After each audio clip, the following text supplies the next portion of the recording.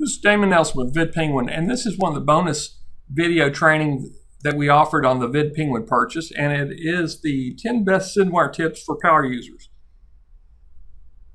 What I'm going to do is I'm going to go into Syndwire. I wouldn't say I'm an expert, but I would. I want to show you my dashboard here, just so you know that I am doing using Syndwire.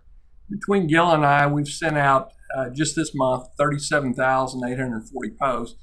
Post a lifetime since I've had it, I've done about 116,000 posts.